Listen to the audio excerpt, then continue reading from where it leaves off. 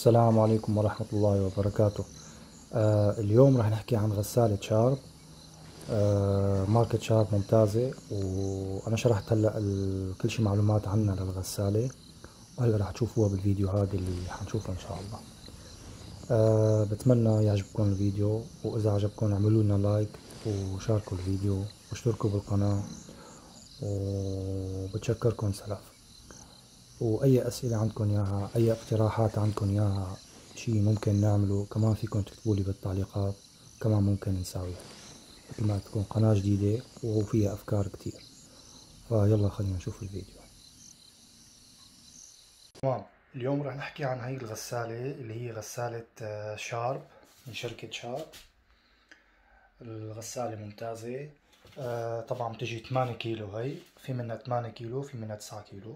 فأنا جبت الثمانية بتكفيني ثمانية تمام؟ آه هون عم يحكوا إنه المحرك تبعها advanced inverter motor هي معناته ال- الميتور تبعها بيجي الضجيج تبعه خفيف تمام؟ طبعا هي الغسالة أنا جبتها آه، استعملتها أول ما شغلتها كان في شوية آه، ضجيج بالمحرك تبعها. فخبرت الشركة عن الموضوع فقالوا لي هي شيء يعني حالة نادرة تمام إنه تصير فمن حظي إجت إنه عندي هي القصة فبدلوا لنا إياها. تمام؟ آه هون عم يحكوا إنه ال- ال- استعمال المي تبعها كتير قليل بتستعمل مي قليل بس بتنظف يعني ممتازة. بالإضافة هي عند فيش الكهرباء هي إنه بتوفر كهرباء فيها توفير كهرباء. تمام؟ هون آه، إشارة هي اللايك إنه كتير العالم شكرت منها ورضيانة منها تمام؟ وموثوقة يعني. بالإضافة لهون اللي هي مطرح حاطين إشارة تم واحد عامل هوس إنه هي ريدوتسير جوغويشة هي بتجي إنه ما فيها ضجيج الغسالة ما بتعمل ضجيج تمام؟ بالإضافة إنه معها جارانتي عشر سنين تمام؟ كفالتها عشر سنين. هاي بالنسبة للمواصفات هلأ تقريبا تمام؟ عنا هون رح نفتح الباب هلا نشوف من جوا تمام. مثل ما قلت لكم تسعة 8 كيلو. والغسالة لساتها جديدة. طبعا كل الناس بتعرف إنه هون في عنا هي بتفتحها من هون. فإذا كان فيها مي زيادة بتفضي المي اللي فيها أو إذا كان علقان فيها وسخ أو شيء بتفضيها من هون. تمام. هاي عنا الدرج تبعها. هون بتحط الدواء الغسيل هون بتحط المعطر وهون بتحط كمان معطر أو دواء غسيل بس هي لغسلات معينة.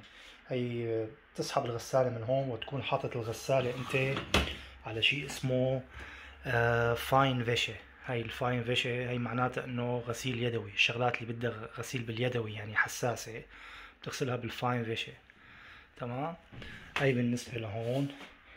آه رح نحكي هلا هون عن غسلها وشو بتغسل يعني. عنا هون ال schnell هي يعني الغسيل السريع schnell تمام؟ طبعا هي غسالة إنه ألمانية لأنه بألمانيا نحن فمكتوب كله بالألماني أما تكون دول عربية بظن تجي بالإنجليزي يعني. فهون schnell يعني غسيل آه سريع تمام؟ بتغسل بدرجة حرارة 30 لل 15 بالإضافة عنا هي اللي تحتها كمان. كاتبين täglich هي الغسيل اليومي اللي هي درجة حرارة 60 عنا هون ال Hemden هي آه، درجة حرارة 60 للقمصان. ال Hemden يعني خصوصي للقمصان. تمام؟ عنا اللي تحت Mix. هي كلمة Mix هي معناتها الغسيل المشكل يعني ملون أبيض أسود يعني مشكل.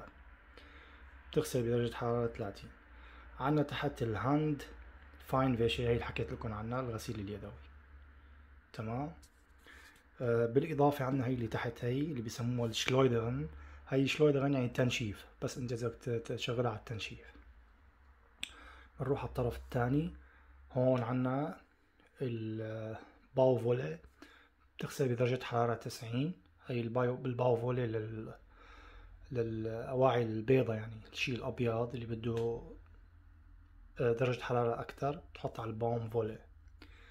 عنا اللي تحتها Vorwäsche ستين قبل الغسيل تمام؟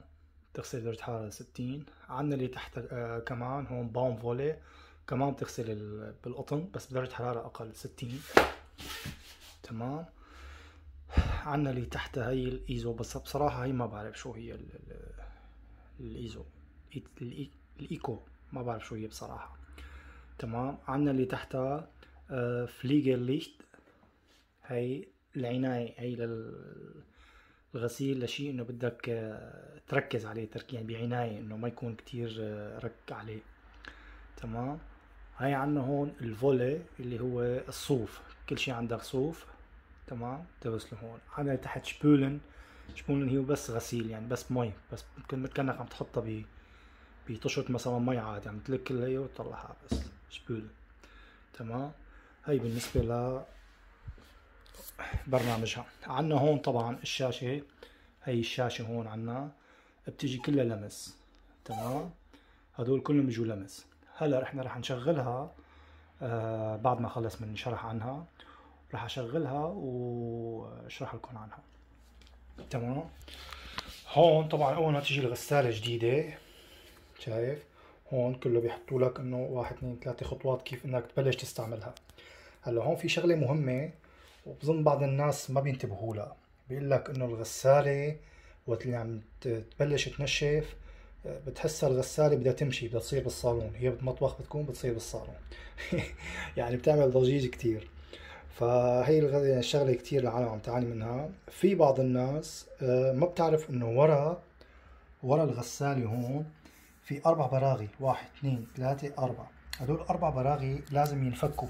أول ما بتنجاب الغسالة جديدة بيكونوا حاطين هدول الأربع براغي. ليش بيكونوا حاطينهم؟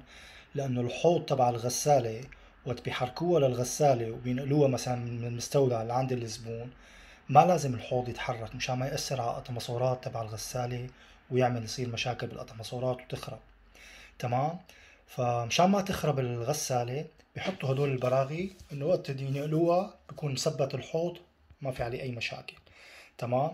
بس انت وقت تجيبها للغسالة الجديدة لازم انك تفك الأربع براغي. شايف شو عم بيقول لك؟ تفك الأربع براغي بتقيمون طبعا آخر شيء بيقول لك إنه هي إشارة الصح هون إنه الصح إنك تقيم الأربع براغي. تمام؟ ححط لك أربعة. عندك آخر شيء قايل لك هون إنه لازم ترفعها من تحت. في لها هدول عن الزوايا كل زاوية غسالة في لها البراغي اللي بت- بتعير إنه قديش الغسالة تكون متوازنة يعني مشان ما تتحرك.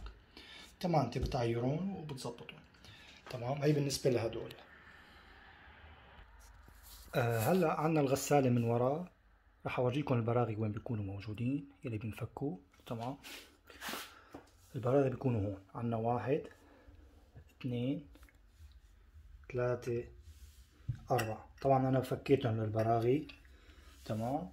واستعملتها. ما شاء الله وهي عم تنشف ضلت بمكانها وما في عليها أي مشاكل. أمورها بخير وتمام. طبعا هي الفيش تبعها. هي ال- الفيش اللي يخرج المي. وهي هون اللي بيسحب المي مشان يفوتها على الغسالة. تمام؟ هاي بالنسبة لورا هدول البراغي أهم شي لازم ينفكوا وقت الغسالة. وقت بدك تنتقل من بيتك مثلا من مكان لمكان بترجع بتركب البراغي هدول مشان ما يأثر على الحوض. تمام؟ هلأ خلينا نروح نشوف البرنامج تبعها. تمام. هلأ راح نشغلها ونشوف كل وحدة كيف بتعطي تمام؟ عنا هلأ هون حنحطها على الشنل شايفين؟ عطتني درجة حرارة عفوا وقت 15 تمام؟ ودرجة الحرارة أنا إذا بدي أتحكم بدرجة الحرارة تبعها من هون. بكبس عم يقول لي 30 هي حصرا 30 درجة حرارة 30 حصرا. شايفين لمس. هي بالنسبة لهي نروح على اللي بعدها. تغليش تغسل 60 دقيقة. تمام. كمان درجة الحرارة متحكم فيها هون قد ما بدنا. بالإضافة إذا بدك وقت أكتر بتكبس هي كمان. شوف بيطلع لك هلأ واحد اثنين ثلاثة أربعة هي ساعة ساعتين ثلاثة اللي بدك إياها. واحد. اثنين ثلاثة أربعة. قد ما بدك ساعة ساعتين ثلاثة بتحطها أنت الغسلة. إذا أنت بدك إياها أكثر من ستين مثلا. تمام؟ نروح على اللي بعدها. هيمدن ساعة و 12 دقيقة. على ال Mix. واحد وثمانين دقيقة. على ال Sport اللي هي الرياضة الأواعي الرياضية 80 دقيقة. ونروح على ال Hand Feinwäsche اللي هو غسيل اليدوي تسعين دقيقة. Schleudern تنشيف سبعتاشر دقيقة. تمام. بنروح هون هلأ على الشبول تاعكم الغسيل العادي بدون عنا هون الفولي حكينا عنها الصوف ثلاثة وأربعين دقيقة. اللي فوق الفليجة ساعة وعشر دقايق تمام؟ خمسة وتسعين. البوم فولي اللي هي بدرجة حرارة ستين. ساعتين وخمسطعش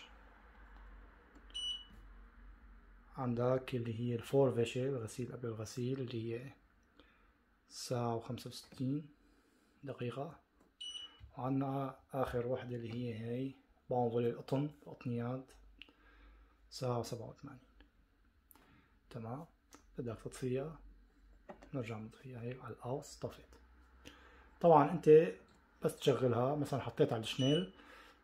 بدك مثلا إنه آه تبلش الغسالة. بتكبس Start. أنا ما بدي بلشها هلأ لأنه ما في غسيل. بتكبس Start بتلاقيها دغري بقى بلشت تسحب مي وتظبط الأمور. هون عندك ال Bügelleicht تمام؟ هي ال Bügelleicht هي معناتها إنه إذا بدك الغسيل ينغسل وما يتجعلك كتير يعني تمام؟ فهي بتجي فيها كمان قصة. تمام. هي بالنسبة لمواصفات غسالة شارب ومثل ما تكون الغسالة منيحة وبصراحة غسلت فيها مرتين ثلاثة. أمورها ممتازة وبتغسل يعني كتير ظريفة بصراحة. بالإضافة مثل ما قلت لكم كان فيها مشكلة واحدة وقت إجت من الشركة إنه كان الميتور عم يطلع صوت وزة هيك تعمل يعني صوت وزة بالميتور. فخبرنا الشركة عليها وشركة محترمة والله رجعوها وبدلوها يعني ما في أي مشاكل يعني. تمام؟ هي بالنسبة للفيديو تبعنا اليوم عن غسالة شارب. بتمنى إنه تشتركوا بالقناة إذا عجبكم الفيديو والشرح. وتعملوا لنا لايك وأي سؤال حابين تسألونه كمان نحن جاهزين. وفيكم تفوتوا كمان على الفيديوهات الموجودة بالصفحة وتشوفوها. يعني أنا عم حاول أنشر كل شي شغلات يعني مفيدة بالحياة اليومية أو بالحياة العادية أو بالعمل أو بأي شي يعني. وبالإضافة في شي ترفيهي يعني هيك. شي صار بألمانيا. تلج مطر قصة شغلة حلوة كمان بنصورها.